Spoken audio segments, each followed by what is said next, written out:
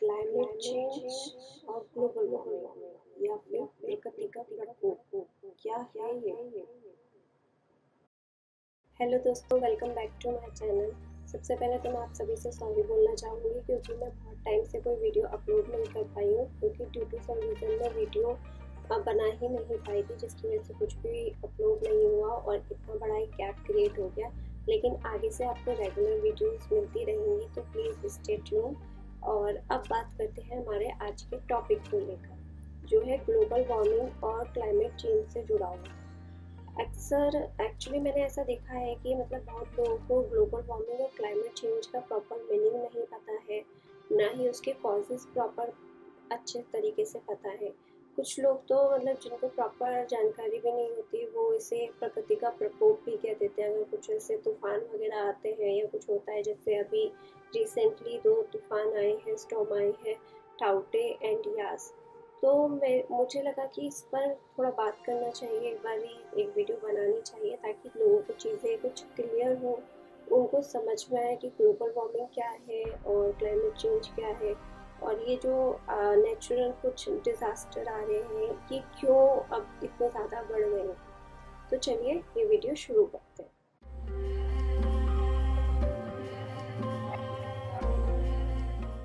Video की शुरुआत करने से पहले मैं एक बात कहना चाहूँगी कि ये कोई प्रकृति का प्रकोप नहीं है, ये बल्कि इंसानों का प्रकृति पर प्रकोप है, ना कि प्रकृति का इंसानों पर। और मैं ऐसा क्यों कह रही हूँ? ये आपको जब आप ये पूरा वीडियो देखेंगे, आपको ग्लोबल वार्मिंग और क्लाइमेट चेंज पूरी तरह से समझ में आएगा तो आप भी ये बात जान पाएँगे। अब बात करते हैं ग्लोबल वार्मिंग और क्लाइमेट चेंज को लेकर, लेकिन उससे पहले हम ये जानते हैं कि हमारी अर्थ पर ऐसा क्या खास है जिसकी वजह से इस पर लाइफ पॉसिबल है। वरना तो प्लानट तो और भी है, लेकिन वो या तो बहुत ज़्यादा गर्म है या फिर बहुत ज़्यादा ठंडे हैं। तो ऐसा क्या है जो हमारी अर्थ को एक मेंटेन्ड उसका टेम्परेचर देता है, जिसकी वजह से यहाँ पर हम लोग ज़िंदा रह पाते हैं, हमारी लाइफ पॉसिबल है? तो वो है उसका एटमोसफियर अर्थ के चारों तरफ़ एक एटमोसफियर है जो उसको ना तो ज़्यादा गर्म रहने देता है, ना ही ज़्यादा ठंडा रहने देता है। एक बार बात कर लेते हैं कि ये काम कैसे करता है? एक्चुअली होता क्या है, जब सन रेज हमारी धरती पर आती है तो अर्थ क्या करती है, उसमें से कुछ रेज को तो अपने अंदर ऑब्जॉर्व कर लेती है और मैक्सिमम को वो वापस स्पेस में रिफ्लेक्ट करती है। जब वो स्पेस की तरफ़ जा रही होती हैं तो ये जो एटमॉस्फेयर है हमारी अर्थ के बाहर, वो क्या करता है कि इस हीट को वापस से थोड़ा सा अर्थ की तरफ़ रिफ्लेक्ट कर देता है और कुछ को वो बाहर की तरफ़ निकाल देता है। जिससे कि क्या होता है कि अर्थ पर एक सही टेम्परेचर मेंटेन रहता है, ना वो ज़्यादा ठंडी रहती है, ना वो ज़्यादा गर्म रहती है। ऐसा साइंटिस्ट ने ऐसी रिसर्च की है कि अगर अर्थ के ऊपर ये एटमोसफियर नहीं होता, ये एक लेयर नहीं होती तो फिर हमारी अर्थ का टेम्परेचर इतना कम होता कि यहाँ पर जो लाइफ है वो पॉसिबल ही नहीं होती। हमारी अर्थ भी बहुत ठंडी होती। तो ये जो एटमॉस्फेयर है, ये हमारे अर्थ के लिए अच्छा है।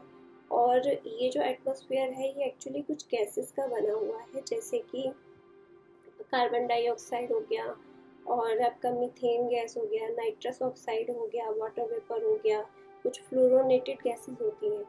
इन गैसेस को हम कहते हैं ग्रीन हाउस गैसेस और ये जो इफ़ेक्ट है, जिसकी वजह से हमारी अर्थ सही टेम्परेचर को मेंटेन कर पाती है, उसको कहते हैं हम ग्रीन हाउस इफ़ेक्ट तो ये तो बात थी ग्रीन हाउस गैस और ग्रीन हाउस इफ़ेक्ट के बारे में, जो कि एक नेचुरल प्रोसेस है और हमारी अर्थ का टेम्परेचर मेंटेन रखने के लिए बहुत ज़रूरी है। लेकिन हुआ क्या है कि पिछले कई सालों में हमने डेवलपमेंट के नाम पर कुछ ऐसी एक्टिविटीज़ कर दी है, जिससे कि एटमोसफियर में जो गैसेस का एक प्रपोर्शन था, उसमें बहुत ज़्यादा इंक्रीमेंट हो गया है और एक इम्बैलेंस क्रिएट हो चुका है उसमें। पहले एटमॉस्फेयर की जो लाइन थी बहुत पतली थी, जिससे क्या होता था कि जो अननेसेसरी हीट होती थी, वो वापस स्पेस में रिफ्लेक्ट चली जाती थी। लेकिन अब क्या हो गया है कि इन गैसेस का प्रपोर्शन बढ़ने से वो लेयर बहुत थिक हो गई है, जिसकी वजह से हीट स्पेस में जा ही नहीं पाती और सारी की सारी हीट जो भी सन से हमें मिलती है, वो सारी हीट हमारी अर्थ पर ही वापस आ जाती है, जिसकी वजह से क्या हो रहा है कि अर्थ का जो सरफेस लेवल का टेम्परेचर है, वो डे बाई डे बहुत इंक्रीज होता जा रहा है। और इसी चीज़ को हम कहते हैं ग्लोबल वार्मिंग मतलब कि अब कुछ गैसेस के इंक्रीमेंट होने की वजह से अर्थ के सरफेस लेवल का टेम्परेचर बढ़ने को ग्लोबल वार्मिंग कहा जाता है। अब बात आती है कि क्लाइमेट चेंज किसे कहते हैं? क्लाइमेट चेंज होता है लॉन्ग टर्म में वेदर पैटर्न में जो चेंजेस आते हैं। उसको क्लाइमेट चेंज कहा जाता है। ग्लोबल वार्मिंग जो है क्लाइमेट चेंज का सिर्फ़ एक एस्पेक्ट है, उसका एक पहलू है। लेकिन अगर हम टर्म की बात करें तो क्लाइमेट चेंज में पूरे ही जितने भी वेदर हैं, उन सब में जो रैपिडली चेंज आ रहा है, उसको कवर किया जाता है। जबकि ग्लोबल वार्मिंग में सिर्फ़ अर्थ का जो टेम्परेचर इंक्रीज हो रहा है, उसको हम कवर करते हैं। ग्लोबल वार्मिंग और क्लाइमेट चेंज में जो एक और बड़ा डिफरेंस है, वो है कि ग्लोबल वार्मिंग सिर्फ़ ह्यूमन बेस्ड एक्टिविटीज़ के ऊपर ही माना जाता है, जबकि क्लाइमेट चेंज में ह्यूमन बेस्ड एक्टिविटीज़ और साथ में नेचुरल एक्टिविटीज़ के कॉजेज़ को भी काउंट किया जाता है।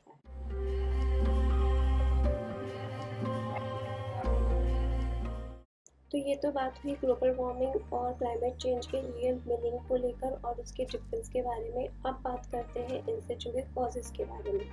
तो अगर मैं ह्यूमन बेस्ड एक्टिविटीज़ से रिलेटेड कॉजेज़ के बारे में बात करूँ तो उसमें सबसे नंबर वन पर जो आता है वो है फॉसिल फ्यूल्स का बर्न करना। जैसे कि हम एनर्जी बनाने के लिए कोयले को बर्न करते हैं, जिसके प्रोसेस में सी का एमिशन बहुत ज़्यादा होता है। और एक्चुअल में अभी जो मतलब थोड़ा सा एक रिसर्च हो रही है, उसमें ये माना जा रहा है कि C O two green house gases में सी ओ टू सबसे ज़्यादा जो है इंक्रीज़ हो चुकी है, जिसकी वजह से पॉल्यूशन बहुत ज़्यादा फैल रहा है और जो ग्लोबल वार्मिंग है, उसका इफ़ेक्ट ज़्यादा बढ़ता जा रहा है। सेकेंड नंबर पर अगर हम बात करें तो ट्रांसपोर्टेशन ट्रांसपोर्टेशन के थ्रू भी बहुत ज़्यादा पॉल्यूशन फैलता है। थर्ड नंबर पर हमारे कुछ मैन्युफैक्चरिंग प्रोसेस ऐसे हैं जिसकी वजह से सी ओ टू का एमिशन बहुत ज़्यादा होता है। जैसे कि सीमेंट का प्रोडक्शन उसका जो प्रोसेस है, उसमें काफ़ी ज़्यादा सी ओ टू होता है, यानी एमिशन होता है और साथ में उसमें इलेक्ट्रिसिटी भी बहुत यूज़ होती है तो वो डबल एक तरीके से इफ़ेक्ट हो गया उसमें। फिर अगर बात करें तो पेड़ों का काटना, वो एक मेन रीज़न है। फिर नेक्स्ट जो रीज़न है, वो है हमारा एग्रीकल्चर का प्रोसेस एग्रीकल्चर में क्या होता है कि हम कुछ ऐसे फर्टिलाइज़र्स यूज़ करते हैं जिसकी वजह से मीथेन गैस और नाइट्रस ऑक्साइड का जो है एमिशन होता है काफ़ी ज़्यादा। एनिमल का जो मैन्योर होता है उसकी वजह से भी मीथेन गैस का प्रोडक्शन मतलब उसका एमिशन होता है, जो कि हमारे एटमोसफेयर में जाके इंक्रीज़ होता रहता है। फिर नेक्स्ट कॉज की बात करें तो वो है वेस्ट वाटर ट्रीटमेंट का जो हमारा सिस्टम है, उसमें बहुत ज़्यादा नाइट्रस ऑक्साइड का एमिशन होता है, जो कि ग्रीन हाउस गैसेस में एक इंक्रीमेंट है और पॉल्यूशन को बढ़ावा देने वाला है। तो ये तो बात हुई कुछ ह्यूमन बेस्ड एक्टिविटीज़ की, जिनके ज़रिए ग्लोबल वार्मिंग इंक्रीज हो रही है और साथ में ये क्लाइमेट चेंज पर भी असर डालते हैं। अब बात करते हैं कुछ नेचुरल एक्टिविटीज़ की, जिनका रिलेशन है क्लाइमेट चेंज से। तो वो एक्टिविटीज़ है, जैसे अर्थ के ऑर्बिट में कुछ चेंजेस होना सोलर वेरिएशन में चेंजेस होना या फिर वॉल्केनिक इरप्शन का होना। जैसे जब ज्वालामुखी फटता है तो आपने देखा होगा कि डस्ट का एक बहुत बड़ा सा क्लाउड सा निकलता है उसमें से, जिसकी वजह से उसमें, उसकी वजह से बहुत ज़्यादा पॉल्यूटेड गैसेस निकलती हैं जो कि हमारे एटमोसफेयर में जाकर एक एड ऑन हो जाती हैं और उसकी वजह से भी क्लाइमेट चेंज पर काफ़ी बुरा असर पड़ता है।